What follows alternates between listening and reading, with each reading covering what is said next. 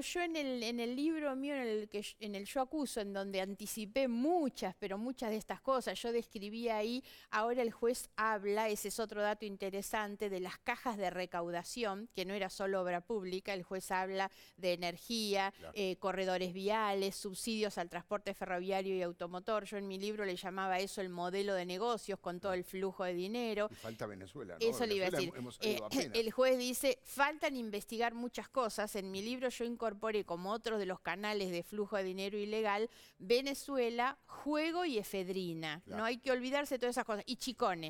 Y chicone. No, hay que, no hay que olvidarse eso. Pero una de las cosas que iba a comentar del libro es que yo describí el tiempo que me tocó compartir con ella, que era una mujer sumamente capaz, preparada en realidad, pero siempre con ese estilo donde ella tenía a su alrededor gente que prácticamente le servía, quienes ella trataba prácticamente como sirvientes, que era el que le llevaba una cosa a otra, tenía un trato. Y, yo siento siempre que esas actitudes describen a las personas. ¿eh? la concepción de modelo autoritario, porque para llevar adelante un sistema de corrupción tan grande hace falta un sistema autoritario que ellos trajeron desde Santa Cruz. ¿eh? Eh, en la provincia de Santa Cruz gobernaban así, no cumpliendo con las normas, recordemos el caso del procurador, eh, con los mismos empresarios, con los mismos funcionarios. Debido que los acompañó los 12 años, venía desde allá también. Entonces trasladaron ese modelo al gobierno nacional.